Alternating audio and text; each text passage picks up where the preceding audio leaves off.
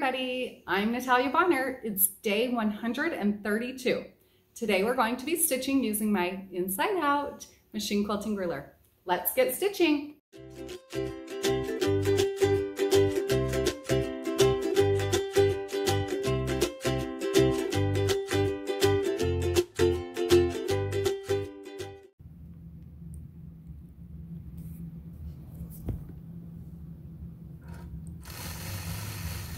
I'll begin by using my blue Mark B Gone marker and marking a T right through the center of this block.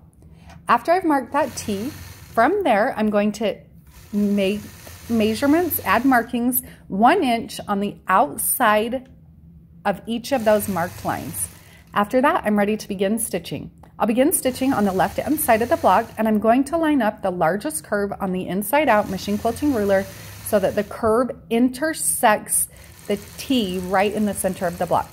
So I'll stitch up to the marked line, adjust my ruler, and stitch back to the opposite marked line. From there, I'll travel along the ditch, moving across the side of the block, up to the top of the block, and then repeating this process on all four sides of the block. So this design is very simplistic as it is, but you could obviously add in fun fills around it or if you had a couple of these blocks next to each other, it would create some really cool secondary designs.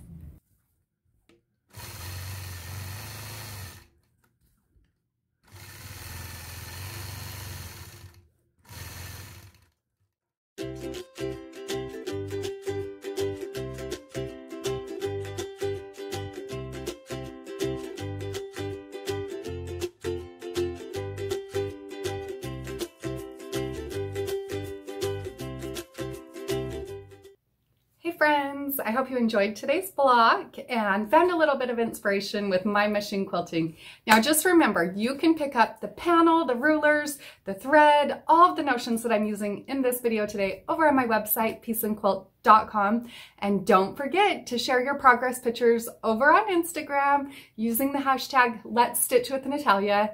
That's where we will be selecting winners for weekly prizes. See you all tomorrow.